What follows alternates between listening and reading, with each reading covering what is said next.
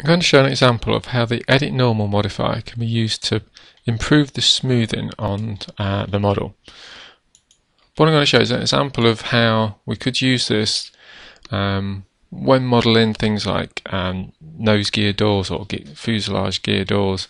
Um, so let's just first of all just cut out some some of the polygons that we can use to be uh, the doors.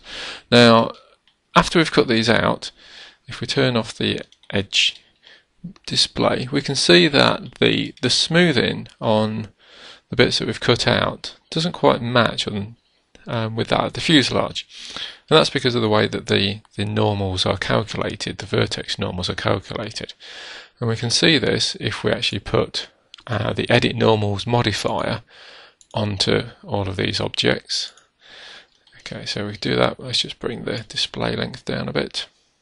Okay, so we can see that all the way around the cylinder, yeah, each one of these, each vertex, so here, here, has got a, a normal, and that normal is calculated by the average of the face normals. So this face and this face, get the average, and then that produces a normal here, which gives us a nice smooth look.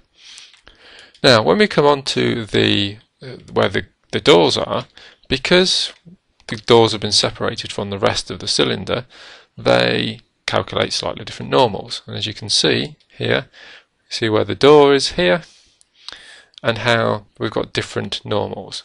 So we can actually look that if we look on a straight down, we can see that we've got diff normals a slightly different direction all the way along, whereas where the gear doors aren't cut out, yeah, it's just normal.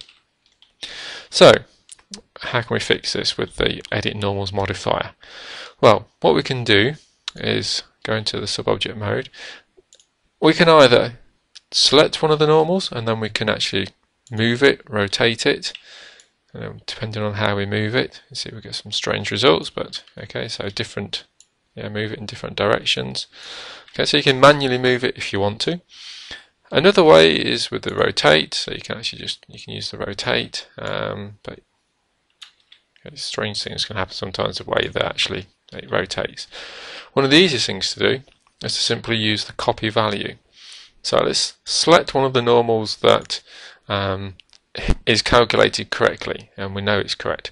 Then we'll copy that and then we can apply it by pasting it to the other. And let's just paste that over. We can actually do multiple selects if we want. Okay, we can paste those all onto there to give them the same. Let's just check it. Oh, we can still see that um, yeah, some of these are. Oh, okay, they're all in.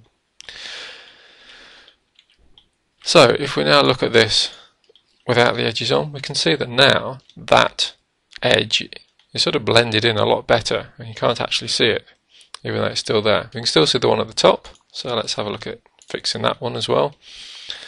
Uh, let's just select all the objects. So with the one at the top, okay, we want the normals to be going straight up. So again, we can just um, multiple select them. Okay, and we could, this time, we'll just produce an average from them, and then it will just average them out and gives us a straight up normal. Okay, and you, there we go, pretty much done. You can see how the normals that we've actually given specific values to are shaded a different colour uh, than the ones that are just calculated. So let's just then let's just export that.